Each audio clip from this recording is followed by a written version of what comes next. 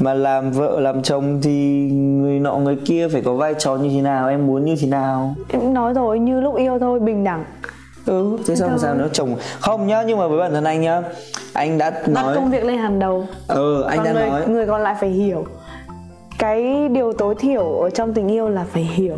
Ừ, chưa? đúng. Thôi. Thì anh cũng đã nói là Không anh vẫn luôn luôn là một người là đặt công việc lên. Anh cũng luôn luôn một người mà muốn là trụ trụ cột. Còn lại là ví dụ như anh vẫn muốn là kiểu hiểu người yêu rồi vẫn muốn là chia sẻ tức là ví dụ kiểu làm được cái gì thì vẫn phải làm chứ không phải là không làm hết tất cả. Thì anh cũng tự nhận là mình là một người rất là đoảng. Tức là không biết làm cái gì cả. Nhưng mà dù sao thì ví dụ như bây giờ mà anh được học ấy là cũng làm ngon lành ấy. Ừ. đấy thế thôi. Còn còn em muốn gì nữa không? Không. Không à? Ừ. rồi. Hân vẫn luôn luôn là một người mà sống khá khép kín. Khi mà bạn ấy muốn chia sẻ thì bạn ấy mới chia sẻ thôi. Còn lại bạn ấy không muốn nói gì cả. Chung quy lại thì bảo hân vẫn là một người mà mặc dù là mạnh mẽ, mặc dù là rất là cool ngầu, tâm lý rất là vững vàng, nhưng quanh luôn luôn nói với tất cả mọi người là hân nhìn thế thôi nhưng cũng rất yếu đuối, nhưng hân không không nhận. Nhưng mà đến bây giờ quanh vẫn công nhận là hân vẫn có một chút nữ tính và một chút yếu đuối ở trong đó, khiến bạn ý tức là con người của bạn ý càng đặc biệt hơn rất nhiều người so với những người khác. Bây giờ chơi một trò chơi mang tên là đụng chạm cơ thể. Vặn xoắn tay chân T-Sister luật chơi như sau. Mỗi vòng ekip sẽ xoay con quay. Kết quả sẽ quyết định tay hay chân nào đi vào ô màu ra sao. Ví dụ như chân phải xanh lá hoặc tay trái đỏ. Hai bạn phải chạm bộ phận yêu cầu vào vị trí đó trên thảm chơi. Ui nghĩa là, rồi anh hiểu rồi. Nó nhiều khoắn, xoắn xoắn tay chân này. Xoắn tay chân là sao không hiểu. Đây lát nữa sẽ hiểu. Lưu ý phải giữ vững vị trí của các bộ phận khác. Nếu té ngã hoặc hai người chọn chung một ô làm trước khi hiệu lệnh kết thúc thì uh, sẽ bị phạt một hình phạt bất kỳ. Ok. thì bây giờ em hiểu không nghĩa là bây giờ mà cái tay của anh ở đây nhưng mà chân của em là phải xoắn xoắn xoắn quẩy hết cả lại ấy. xoắn nó sẽ là xoay mà. Rồi bây giờ cứ chơi đi thì hiểu. Ừ, không hiểu. Đi. Bây giờ thì ờ, vì bọn em là người chơi nên là xin ờ, nhờ ekip xoay giúp em cái vòng xoay. Ờ, luật chơi vẫn như thế và nếu mà ai bị ngã này hay là đặt tay đặt chân hay là đặt bất cứ bộ phận nào sai ô thì sẽ bị phạt. Một hình phạt chính là hỏi một câu hỏi về bí mật của đối phương và đối phương phải trả lời thật lòng. Ok. Em xin phép bắt đầu ạ. Tôi nha. Chân trái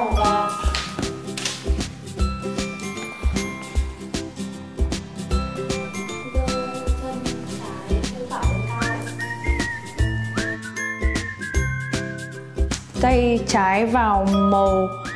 Giơ tay lên trái là dây trời. Tay phải, đặt vào màu xanh lá cây. lá cây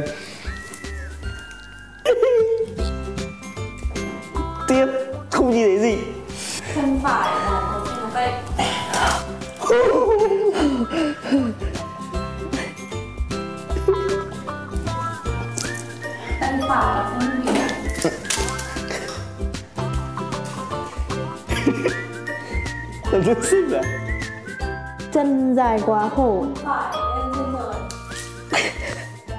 ui. Là đưa tay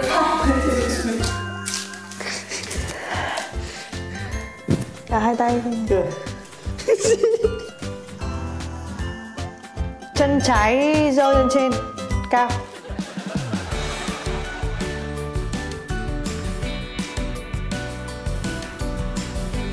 Ờ. Chân phải Phải. đặt vào màu đỏ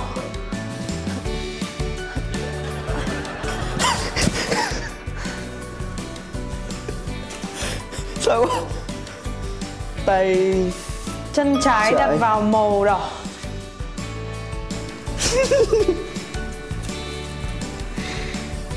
Tay phải đặt vào tay phải lên cao. Vẫn giơ. Ờ, chân phải đặt vào màu, màu xanh, xanh nước cây. lá cây. Tay phải đặt vào màu ô bất kỳ thế phải đặt vào mẫu bất kỳ á. Ờ.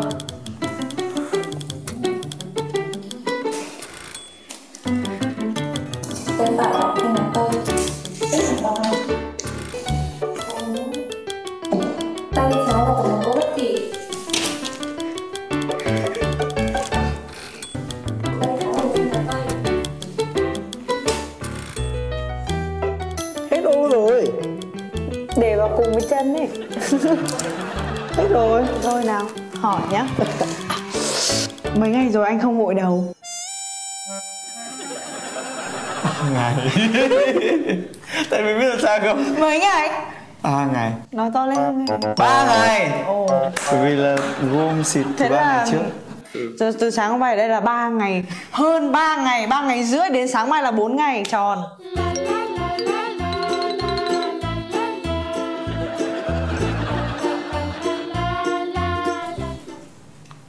Chân ch- chân phải đặt vào màu xanh nước biển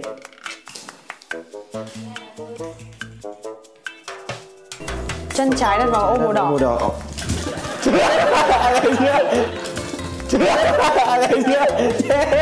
Anh không ngã mà. Không như là anh hỏi nhá.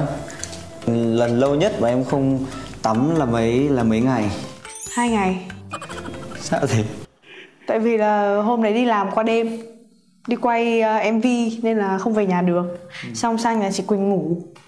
À, Không tắm. Thì uh, về nhà về tắm. ừ, rồi. Rồi. Tại sao anh lại đánh, đánh son phần? Tại sao anh lại đánh, đánh son phần? make up thì lên hình cho đẹp. Cho đẹp hơn em.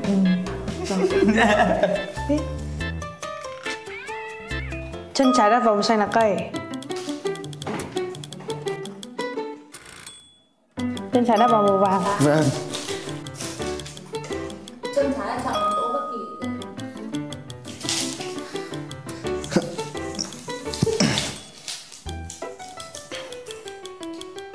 chân trái. Chân trái đặt vào màu. Lên cao. Chân,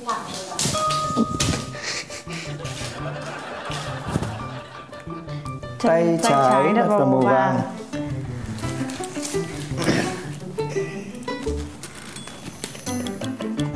chết rồi trong tay. Trong tay trong tay. Chất bẩn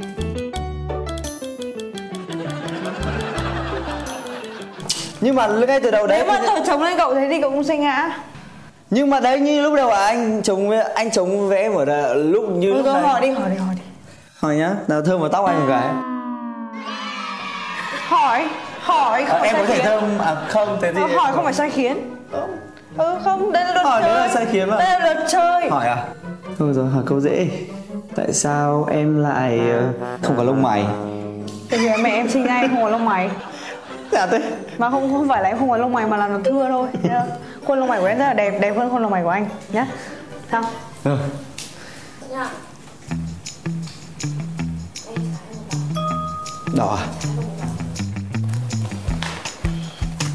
Có được vào không? Được vào chứ.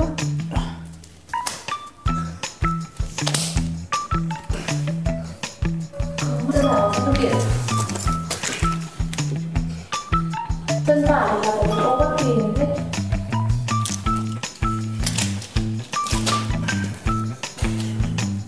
tay phải vào màu vàng tay trái vào màu vàng chân phải đưa lên cao. Chân phải đưa lên cao. Ôi tôi chết rồi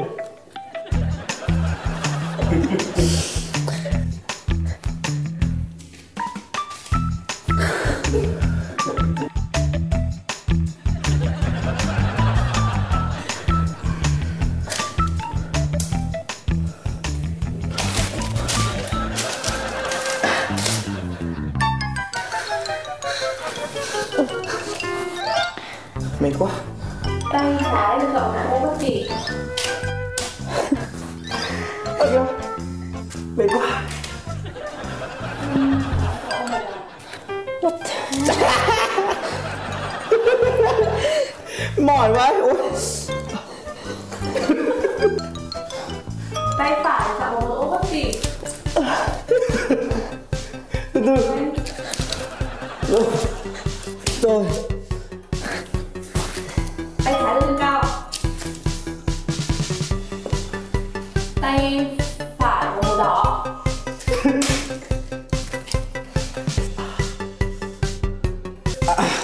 Đúng rồi. Đúng rồi. Yeah. yeah. Đứng dậy đi. Lần đầu anh làm chuyện ấy là bao giờ như nào? Lưu làm chuyện đấy là Năm 18 tuổi Với người mình yêu. Như mọi người Là đấy chuyện ấy. Thế thôi Còn đấy như nào rồi? Là Là mình lên giường mình ngủ. Là mình đắp chăn đi ngủ Thế thôi. Còn chuyện là trong khi đắp chăn thì làm gì thì không biết Thế là hiểu rồi Xong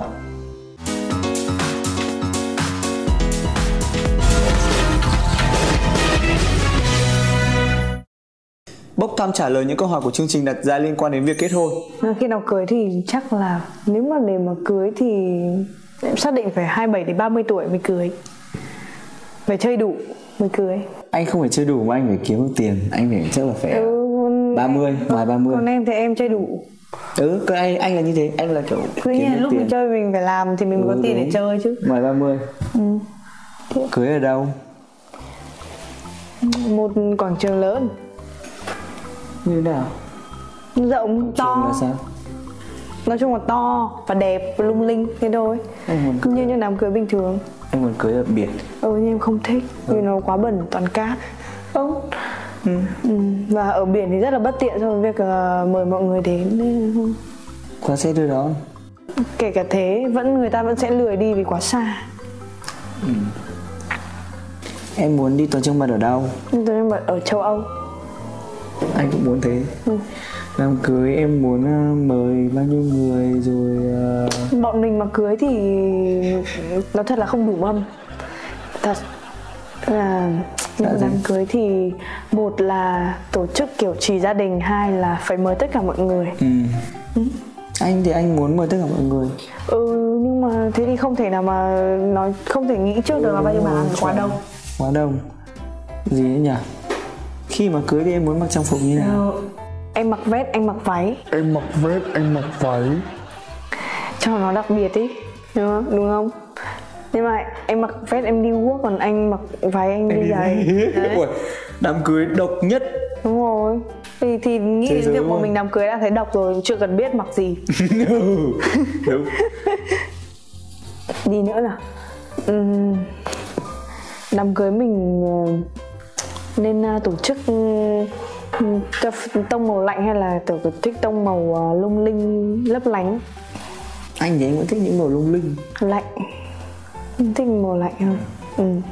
Đám cưới của em thì em thích vào mùa nào? mùa đám cưới thích vào mùa xuân Thế là tại vì mùa xuân là mùa đẹp kiểu mà tầm giáp, mưa. giáp tết hoặc là qua tết rồi là một hai tháng ra ra, ra tháng riêng kiểu thế Em muốn đám cưới ờ, đón đón cô dâu bằng cái gì? Bằng xe gì?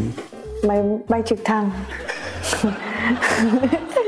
Thôi bây giờ mình bốc thăm những câu hỏi của chương trình đặt ra nhá Liên quan đến việc kết hôn Đây từ đã Hãy lựa chọn trang phục đồ ngủ cho đêm tân hôn Ơ, có ảnh nào không Có gì?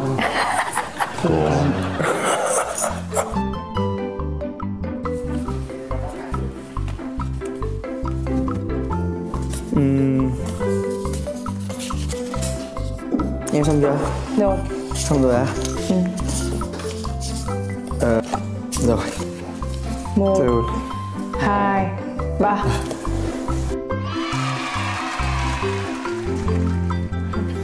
Có mỗi hai cái ảnh đồ ngủ thôi mà. Biết rồi. Cái bộ kia quá trẻ con. Thật mà có hai ba. đồ ngủ ôi hai. Ba ở đây. Đây là đồ ngủ à? Ừ. Giờ mới biết. Tưởng đây đồ đi bình trình diễn thời trang thôi Đây là đồ ngủ. Ừ đây.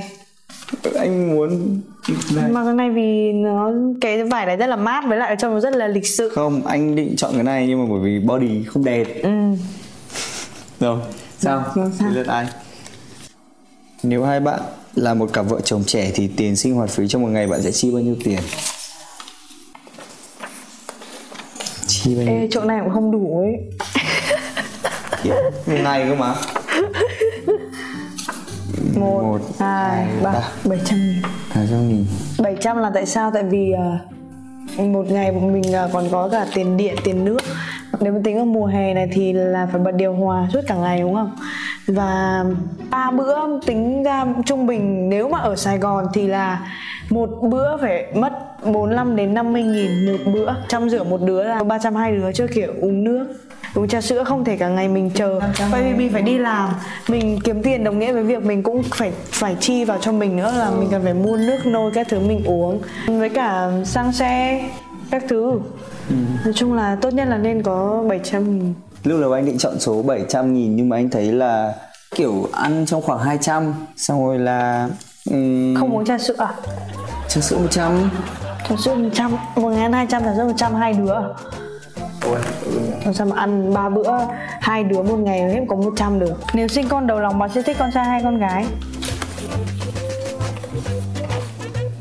Chưa. Một hai ba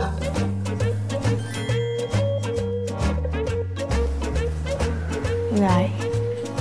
Đây là con trai mà. Đây con gái mà. Đây là con trai. Đây là con gái. Đây là con gái à? Ừ. Thế thích con gái. Tại vì làm sao? Tại vì đơn giản là từ trước giờ lúc nào cũng thích có con gái vì à, là em rất hợp với mẹ em và em nghĩ là con gái tình cảm hơn.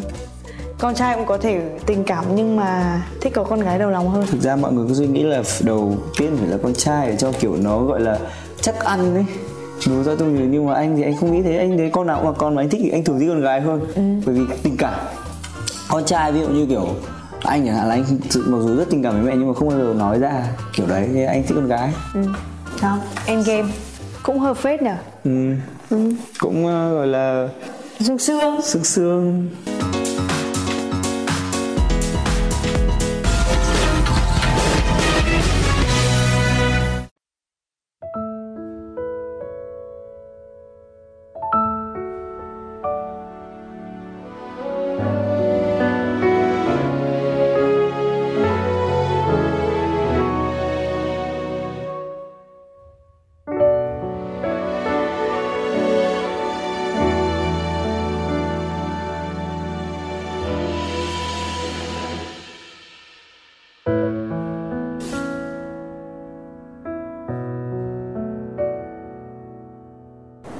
cũng trải qua với Hân uh, ờ, suốt cả một ngày rồi.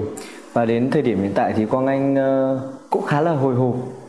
Nhưng mà bởi vì là Quang Anh cũng cũng nhận ra là Hân cũng chưa có quá nhiều cảm xúc với mình. Nên Quang Anh cũng hiểu được là cho dù thế nào thì kết quả vẫn sẽ là gọi là theo cái cảm xúc của Hân thôi. Và Quang Anh vẫn tin là dù có thế nào thì Quang Anh và Hân vẫn luôn luôn là những người mà rất là gọi là hiểu nhau và luôn luôn có rất nhiều kỷ niệm đẹp với nhau với bản thân Quang hiểu hiện tại, thì Quang cảm thấy là mình đã đúng đắn khi mà chọn tham gia với Hân và đặc biệt là chọn tham gia cái chương trình 24 giờ thử yêu này. Bởi vì hai đứa thực sự là không nghĩ là có thể cùng nhau tham gia được một chương trình như thế này.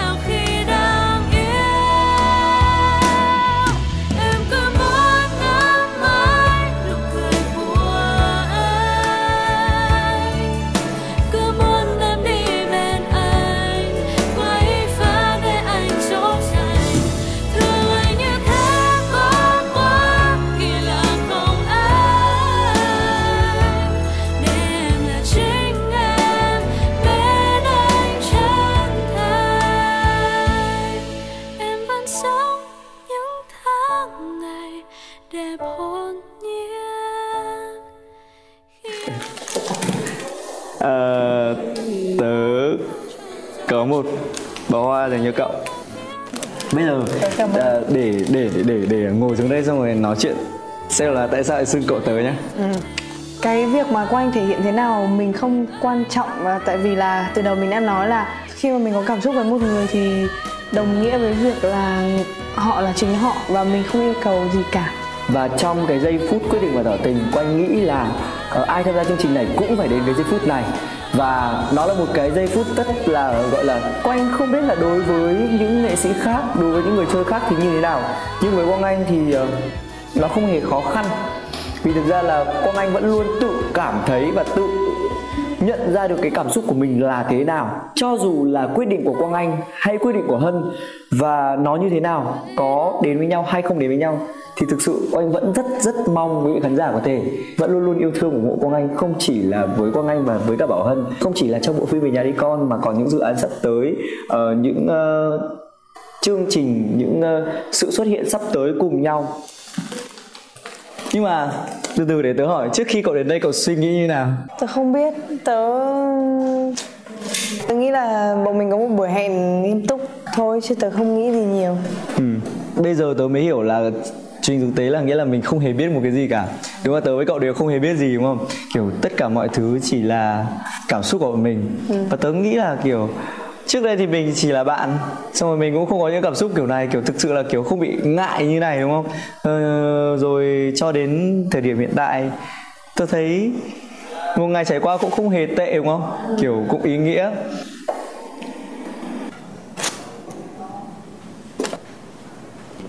Cảm ơn anh ạ. Nói chung là ừ, tớ nghĩ là thật sự là bọn mình thì đến giờ phút này là cũng đã trải qua một ngày đúng không? Ừ. Tớ tin là mọi người xem ấy ừ. cũng chỉ thấy cái sự thú vị của hai người bạn thôi. Tại vì đấy là bọn mình kiểu rất là, là vui ấy, những cái giây phút nó rất là đáng yêu mà nhưng mà tớ tin là không ai nhìn thấy cái tình cảm ở trong đấy cả. Ừ. Tớ cũng cảm thấy là tớ với cậu chỉ hợp làm bạn thôi ấy. Tại vì là tớ quyết định chơi thân với cậu. Ừ. Thì tớ cũng tức là cả hai đều ờ. quyết định phải chân với nhau bởi vì là không... tức là cả hai đều là những người không có nhiều bạn không không có nhiều mối quan hệ. Và một khi mà đã chọn mối quan hệ nào đấy thì rất là trân trọng ấy và kiểu ừ. phải phải phải nó là phải trải qua cả quá trình.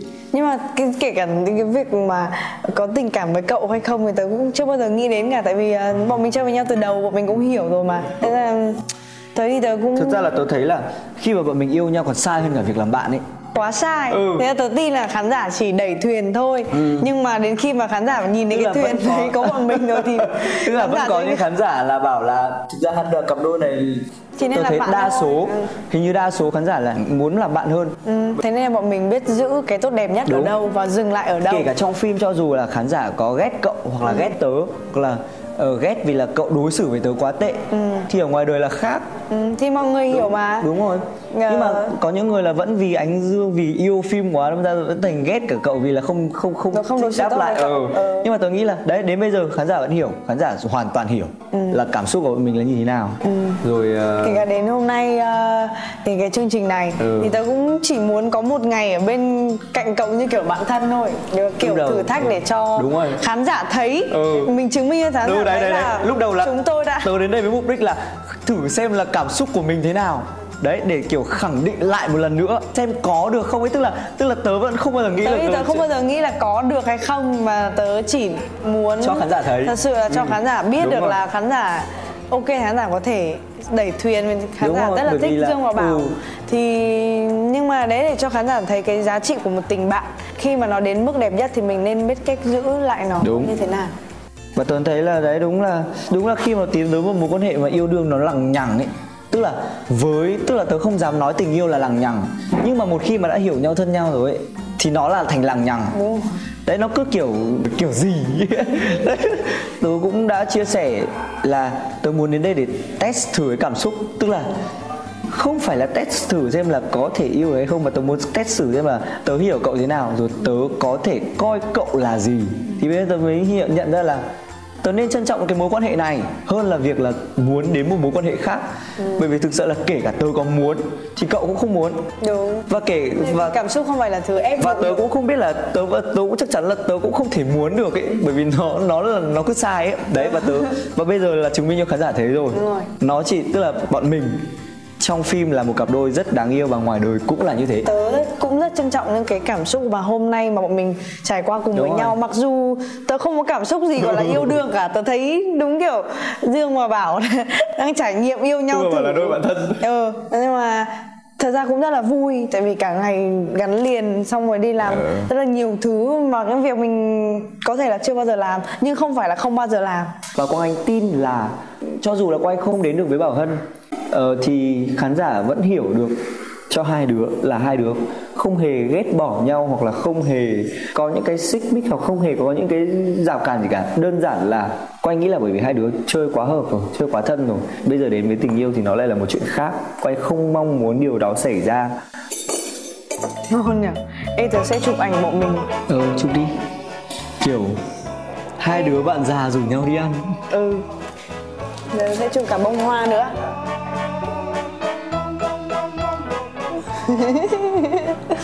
cute nào chụp cậu nhá. Ừ. Nào men lên.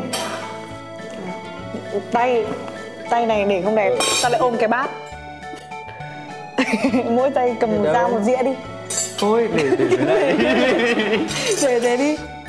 Ờ, rồi gấu rồi tối nay up cái ảnh này. Bảo là Rồi. không yêu à. Không yêu. Được. Dâu dâu yo yo